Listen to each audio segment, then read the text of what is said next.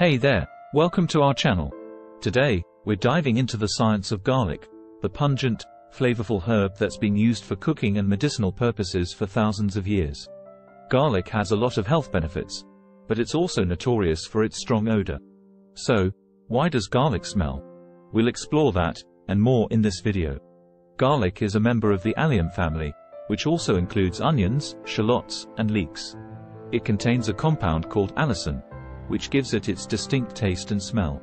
Allicin has been shown to have several health benefits, including lowering blood pressure and cholesterol levels, boosting the immune system, reducing inflammation, fighting bacterial and viral infections.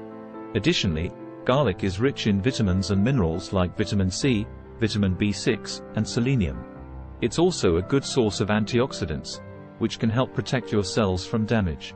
So, we know garlic is good for us, but why does it make our breath smell so bad? The answer lies in the way allicin breaks down in our bodies. When we eat garlic, our digestive system breaks down the allicin into smaller compounds. One of these compounds is allyl methyl sulfide, or AMS. AMS is absorbed into our bloodstream and eventually makes its way to our lungs, where it's exhaled as a gas.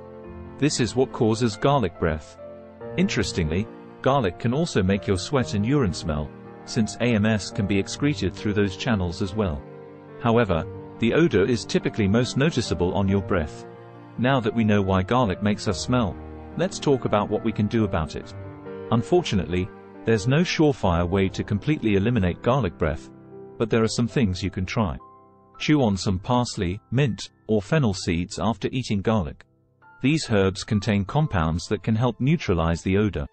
Drink plenty of water to help flush out the AMS from your system. Brush your teeth and tongue thoroughly after eating garlic. Avoid eating garlic before social events or important meetings, if possible. And there you have it, the science of garlic. We've learned that garlic is not only delicious, but also has a lot of health benefits. And while its odor can be a bit of a nuisance, there are ways to combat garlic breath. So go ahead and enjoy that garlicky pasta or stir fry, and know that you're doing your body good. Thanks for watching, and don't forget to subscribe for more videos like this.